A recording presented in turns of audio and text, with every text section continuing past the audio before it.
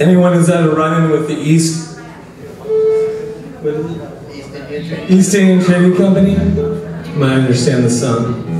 It's called The Ravens Perch at Gallows End. About all those sad sailors that took the wrong turn and ended up skeletons hanging over the ocean. Some port somewhere. Well, not necessarily the wrong, but uh, they got caught.